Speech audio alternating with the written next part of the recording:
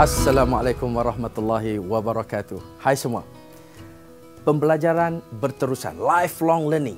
Dia memerlukan satu media, satu kaedah, satu instrumen yang aktif sepanjang 24 jam, 7 hari seminggu.